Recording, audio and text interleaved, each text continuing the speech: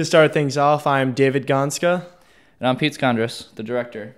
and we are filming the side effects of living healthy.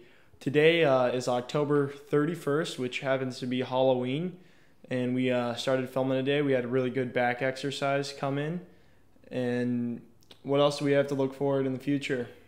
Oh, I guess we got a great documentary um, featuring some nutritionists, doctors, personal trainers, professional athletes, a lot of people that uh, that other people know. So I think I think it'll be a great documentary. Also, we're gonna film uh, some gym rats too. Yeah, for fun, Yep. of course.